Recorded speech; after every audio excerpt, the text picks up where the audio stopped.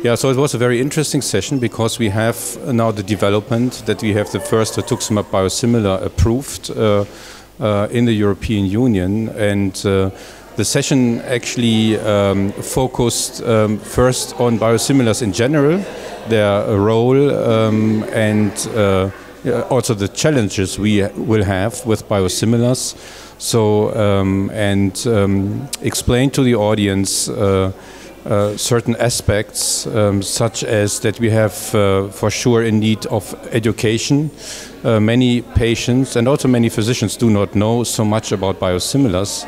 They are perhaps uncertain um, to which extent they can use the biosimilars instead of the originators. Um, and uh, we then, uh, in this session, um, also explain quite in detail how um, biosimilars are generated, so more technical, methodological aspects, how um, um, health authorities actually um, approve or which criteria are important for health authorities to approve such a biosimilar.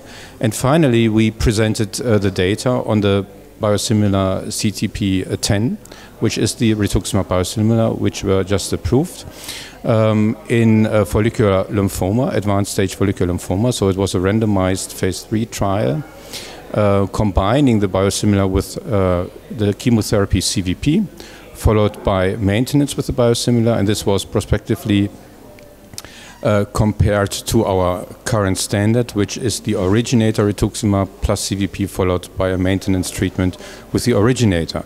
And what we see in this trial is that um, the pharma pharmacokinetic is very identical. Uh, B cell depletion in the patients is very identical. And importantly, also the overall response rate, the complete response rate, and preliminary data um, on the progression free survival are uh, very similar between originator and um, uh, the biosimilar CTP10. So, again, um, um, assuring us that uh, indeed we can substitute um, the um, originator by the biosimilar, which is also reflected, of course, in the approval by uh, the uh, European health authorities, by the EMA.